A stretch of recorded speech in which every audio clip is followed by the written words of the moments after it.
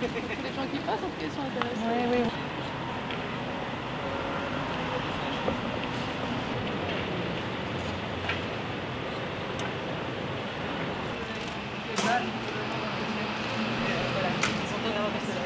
Alors l'occasion de cette euh, exposition, c'est qu'aujourd'hui c'est la journée internationale de lutte contre les violences faites aux femmes.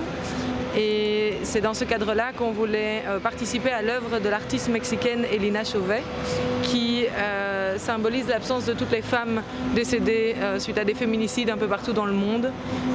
Aujourd'hui à Bruxelles, il y, il y a aussi Saint-Gilles qui fait la même action.